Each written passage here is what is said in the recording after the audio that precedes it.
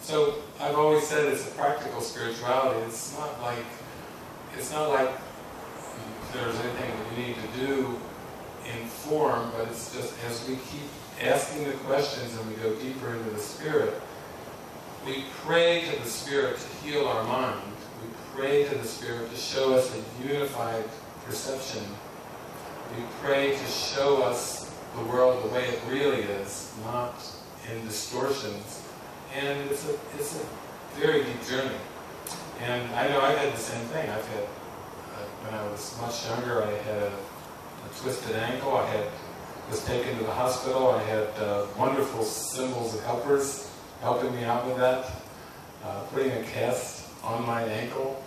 Uh, when I had a hernia operation, um, and again, wonderful symbols of doctors and nurses that have helped out. That's when this body was much, much younger, much earlier version of this body. But as I've learned to tune into the Spirit, and I've flowed with the Spirit, uh, the care and the attention for this body and the world has just decreased and decreased and decreased. Because the fulfillment of the Spirit is everything.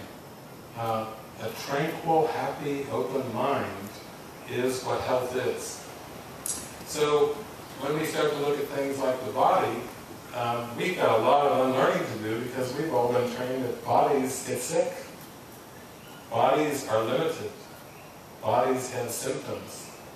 Um, that's what we've been talking about in the course group, you know, the whole idea of sick bodies versus well bodies. Hmm, it's interesting conditioning.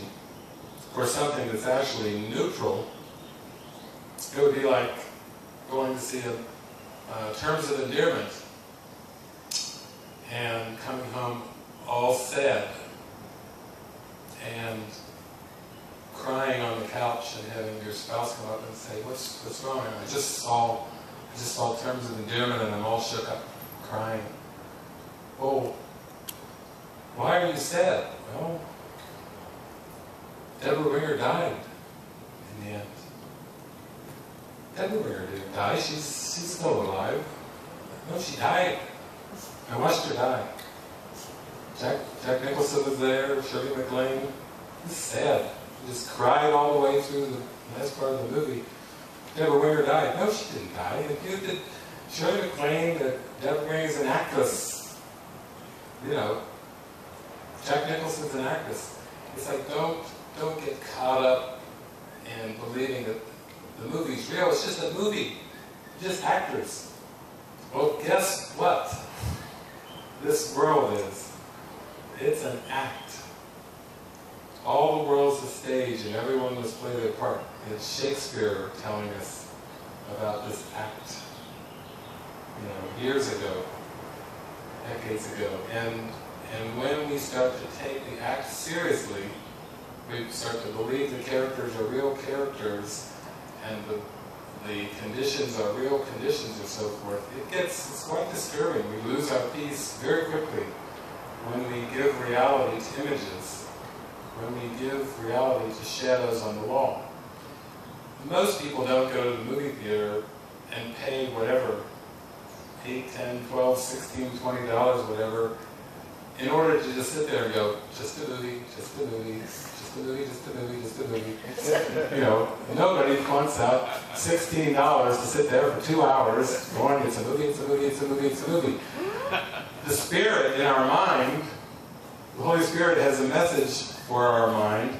It's a movie. it's a movie, it's really a movie. And yet, we go there and we, we get all wrapped up with those images on that screen and those sounds that, that we're hearing through the body's ears. We get, oh, we get all twisted and contorted and if it's, if it's a seemingly scary movie, our heart starts to pound. And if it's a happy, funny movie, we laugh and we laugh and we laugh. And if it's a sad movie, we cry lots of tears. And Jesus is like, mm, mm, mm. Got it all wrong. His second lesson, he's got a workbook with 365 lessons. His second lesson out of 365, one for each day of the year, is I have given everything I see all the meaning it has for me. Who says it's a sad movie? My mind, which, which is believing in the ego. Who says it's a happy movie? Who says it's a, it's a scary movie? I have given everything I see all the meaning it has for me. So you look at, here's the master psychologist that's transcended all forms of dependency and lack. He's, he is living in the abundance of nirvana and the kingdom of heaven. And he's saying, lesson number one, nothing, nothing I see means anything. Oh, well, nice one to start off with there. Go ahead and hit the home run on the first pitch. Uh, gee, what's number two? I've given everything I see all the meaning it has for me. And it just goes on from there. It is a curriculum in undoing everything you think you think and everything you think you know. Sounds very Buddhist, actually. Empty your mind of the contents of consciousness. It's a like a Buddhist curriculum, but it's a curriculum in, in emptying the mind. Sometimes people have said to me, what do you do when you start to get upset?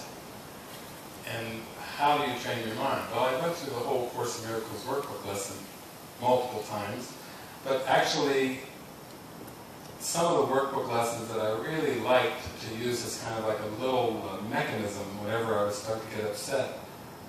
They said, well, you really are stuck in ego, what did you do? And I said, I would use lessons 5, 6, 7, 8 from, from Jesus' workbook. Like the, a, a four combo, 5, 6, 7, 8. If you're going to you're going to hit the ego, hit them with 5, 6, 7, 8. Number 5, I'm never upset for the reason I think. Ooh. Talk about a, a showstopper. Then I'm upset because I see something that's not there. Oh. In psychology, we call that hallucination. that's what number six is. Oh, very good. I'm never upset, ever, ever, ever upset for the reason I think. Hmm, that's very humbling. I, I'm upset because I see something that's not there. Well, that's good. You're telling me I'm hallucinating. Thank you very much. And I'm upset. Uh, I see only the past. Is lesson number seven. I'm, I'm looking at the past. I'm just, all I'm doing is perceiving the past. And the past is filled with attack thoughts and judgments and grievances. You, some of you have heard of Eckhart Tolle. You know, Eckhart Tolle, The Power of Now. He's leading us into the present moment. He's not leading us into the past, and yet lesson number seven says, I see only the past. Then lesson number eight, my mind is preoccupied with past thoughts. So I'm living in the past, and I'm upset because I'm living in the past. And he goes on from there. My thoughts are images I have made. My meaningless thoughts are showing me a meaningless world. A meaningless world engenders fear, and uh, a meaningless world engenders fear because I think I'm in competition with God. Oh my gosh, I woke up in the morning, I wasn't thinking that one. I wasn't thinking I'm, I'm in competition with God. Believe me, when I woke up, I was not thinking that thought. But the, the mind training is saying, oh yeah, you have an unconscious belief system in which you are trying to compete with the Creator and the source of everything, and you're trying to hold on to an identity and a world that God didn't create, and that's why you feel guilty. That's why you feel afraid. That's why you feel upset. That's why you feel distressed and uncomfortable. That's where you get annoyed and irritated, is because underneath it all, you're trying to maintain an identity that isn't real. Whew, that's pretty heavy. That's pretty fundamental. Talk about fundamental.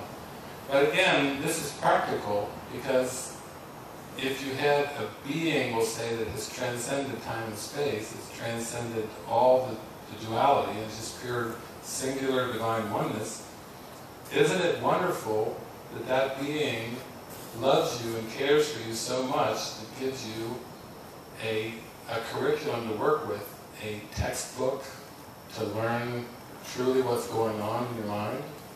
Thank you, God. Uh, thank you for the owner's manual. I, I, I would have loved it earlier, but I'm happy. okay, so the body's 53. Thank you for the owner's manual. That helps. You know, if you've got a car that breaks down, isn't it good to have an owner's manual? You know, if you've got a mind that breaks down, thank you for the owner's manual. And thank you for a curriculum that has a step-by-step -step mind training program that will lead me out of hell, not the burning fires of some eternal hell, but out of perceptual hell to a healed mind. Oh, a peace of mind. Thank you for that curriculum. It is just a dream.